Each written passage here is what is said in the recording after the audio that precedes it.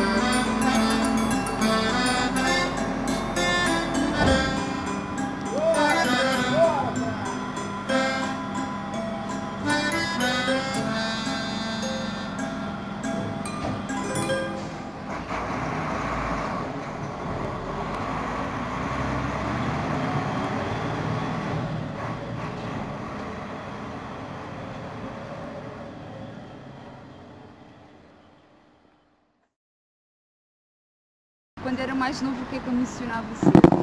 Tanta coisa. Qual era o seu sonho? Quando eu vim, quando eu vim de Angola, na altura, queria ser regente agrícola. Só que, pronto, quando nós chegamos cá, em Portugal, difícil, de estudar e trabalhar.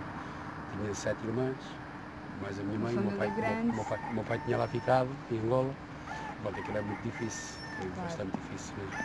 E, e falando então da reciclagem, acha que a reciclagem podia contribuir para um, para um melhoramento do vosso trabalho? Bastante, bastante. Eh, Bom, embora aqui nos Olivais já se faça bastante, né? Embora aqui nos Olivais já se há uns, uns 4 ou 5 anos que já estão a fazer a fundo mesmo, né? Já tem os, os três contentores, eh, que é o lixo, a, a papel e embalagens. Portanto, Já está, falta o vidro, mas o vidro como faz muito barulho, tem aqueles, aqueles milhões que estão ali, Uhum. é, é rosto.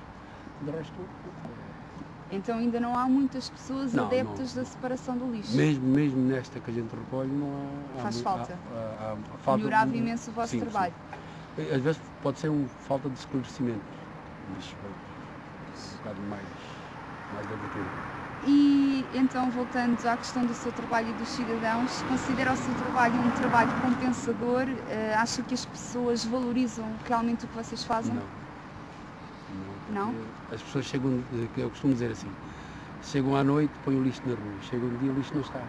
Pronto, é só isso. Não dão conta? Não dão conta nem sabem se a gente existe, se a gente não existe.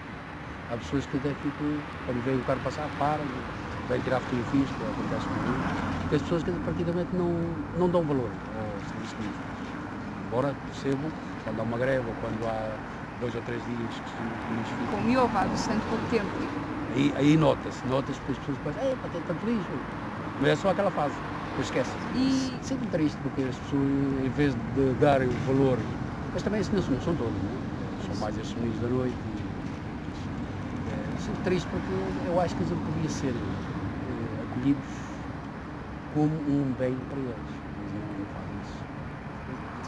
Não fazem a reciclagem como deve ser, não separam o lixo como deve ser, não. eh, pronto, estacionamento de qualquer maneira.